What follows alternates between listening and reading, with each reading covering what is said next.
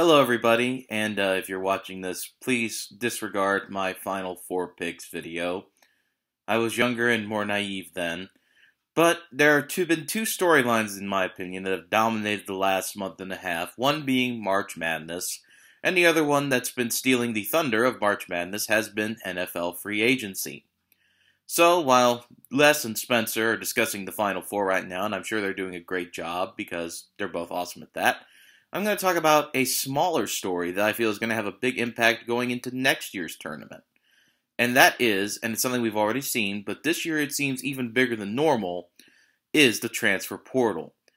We stand on the week of the Final Four, both men's and women's, and we've seen a lot. And we look at one of the teams now in the Final Four with, with Brady Manek at uh, UNC.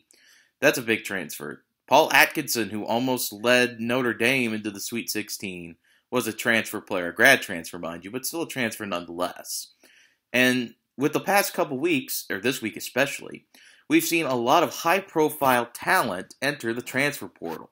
We've had Jaelin Llewellyn from uh, Princeton, who almost led his team to the tournament. Last night, Andre Curbelo from Illinois announced his intentions to transfer. Xavier Pinson from LSU, Dontaie Allen from Kentucky, and perhaps a little bit of a surprise, but not a lot, KJ Williams from Murray State, and basically the rest of that very good roster, with the with their coach taking a new position, have left. And it's just astounding to me to think about what we have now. We have effectively college basketball free agency, and I think it's great. Um, here's why, for example. I know that people are going to tell me that it takes away from the smaller programs especially with the extra year of eligibility and all that stuff. But we just had a 15 seed make it into the Elite Eight. And we had quite a few upsets in the rounds before that. And yes, I know in a couple weeks, St. Peter's is going to be gutted because Holloway is taking the job at Seton Hall. Many of his players, I assume, will also find new homes across the college basketball landscape. But to me, this is even more interesting now. We're getting to the point where these players moving around like this is more interesting to me than recruiting. And keep in mind, I live in Indiana. I love high school basketball. I love watching the Kai who's going to the school I root for, IU. I like watching CJ Gunn play. I like watching guys over in Louisville who are going to U of L play because it is a neat experience to watch these guys and say you saw them in high school when they play for your hometown team. But at the end of the day, some of those guys just aren't going to pan out. We know for a fact that college basketball and high school basketball are different beasts and how you adapt to that, it can vary. But if you're telling me that I could get the defensive player of the year from the MAC, who just somehow found a way to shut down Trevion Williams and Zach Edey onto my roster, I would take that 10 times out of 10. Especially if I was Indiana, really. Uh, KJ Williams, a player of the year and an All American transferring, that's going to make a huge impact for somebody. And, you know, Kentucky's right in the backyard. They've really utilized the grand transfer market. He could be a great pickup for them that may have a Tshiebwe like impact on next season. And that's if they don't get Curbelo from Illinois. And I mean, it is just fascinating now to see the power that the players have going from one position to another. To go from these smaller schools where they do make a name for themselves. I mean, we've heard of these guys. These guys have played impactful minutes, have launched upsets, have done this, that, and the other thing. And we've watched them grow, and we know that they are a bona fide college player.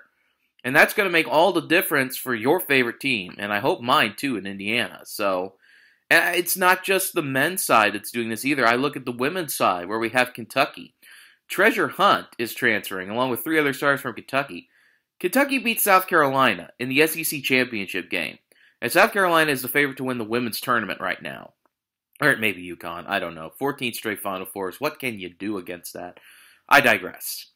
That's going to be a huge impact move for somebody to get a guard like that who had a game-winning shot against North, against South Carolina. That's just impressive.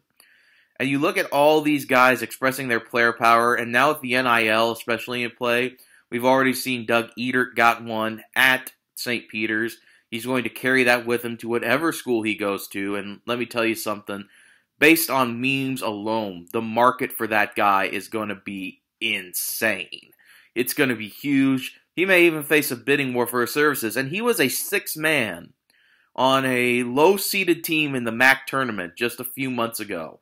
And now he's a Buffalo Wild Wings spokesperson who's probably going to get wined and dined in a way that NBA free agents do, albeit under the table. And there are just so many high impact guys that are already floating around.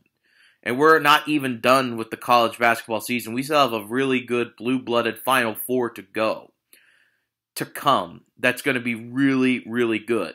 But I've got my eye, and I'm really excited for this. Looking at the guys who have announced they're leaving, looking at the guys who are taking advantage of their rights as players now with the new NCAA.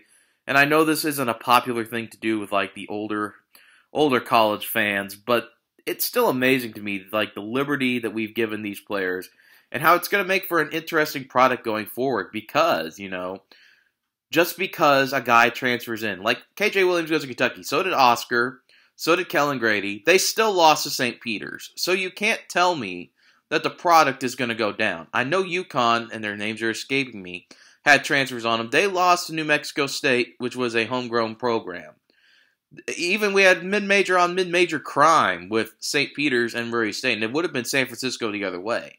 So for every Brady Manek, for every I'm trying to think who that guy, Remy Martin, my preseason pick to win Player of the Year in the Big 12, he came up as of late. He may win the Final Four Most Valuable Player. Who knows? Sorry, Les. I'm just throwing that out there for every guy like that, there is no guarantee that the team that you that team made up transfers is going to be an automatic success, or that they'll find success during the regular season. But it is interesting to me just to watch where these guys go, the impact they're going to have, and what they do. And once again, just to bring the women's tournament into play here, we've even seen that in the women's tournament this year. We had a a player transfer from Iowa to Creighton who hit the game-winning shot over Iowa, the two seed, led by Caitlin Clark, who's one of the most dynamic scorers at any level of the game I've seen, and just beat them, knocked them out of the tournament. So there's there's storylines here. There are there's an established product and there's instant impact. You know, a college guy, a high school guy is going to take some time to adapt. There's no guarantee he's going to work into your system. But if you insert a player of the year or a defensive player of the year from a smaller conference, you're going to get better right away. Or if you're a smaller team and you add in a guy like uh, Andre Curbelo into your system or Xavier Pinson from LSU, you're going to be really good in your conference. I mean, we've we've already seen it. We've already seen the impact the transfer portal can have. Al Durham, for example, Rob Phinisee's in the transfer portal. He's going to be a huge pickup for somebody. There are a lot of good players this year, more than I can remember in years past, who have been impactful, who have led their team to new heights, and who are just stalwarts on the defensive end who are going to either be in the transfer portal or are already there. And I think we're entering a new era in college basketball. We were kind of getting there, but I think this year is the year where we, even more so than the year that we're in right now, with, like I said, all the transfers, this focus of COVID and all that stuff. This year is going to be even wilder because of that extra year of eligibility and whatnot. This trend, the new transfer rules. I think we're going to see a fundamental shift in college basketball from recruiting in firms of high school guys because, you know, all those guys are going to go to Duke. They're going to go to UNC. They're going to go to Kentucky.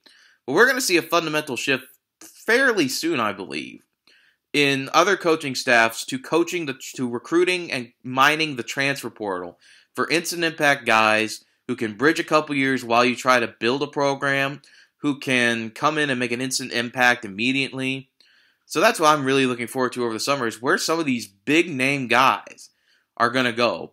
Conference players of the years, uh, Big Ten all whatever teams, all defensive teams. There are a lot of moving parts, and I am excited, and I'm excited to see how coaches will adapt to mining the transfer portal because now we have free agency in college basketball, whether we want to admit it or not, and it's going to change the landscape of how we view it.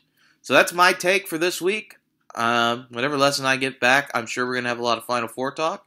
If you watched this far, thank you for watching, and don't forget to hit the subscribe button. I don't know if people still do that because our show is, as the kids say, popping off, and we're going to have a great time whenever we get back together. So thanks for watching. Free agency is here, and your team better adapt.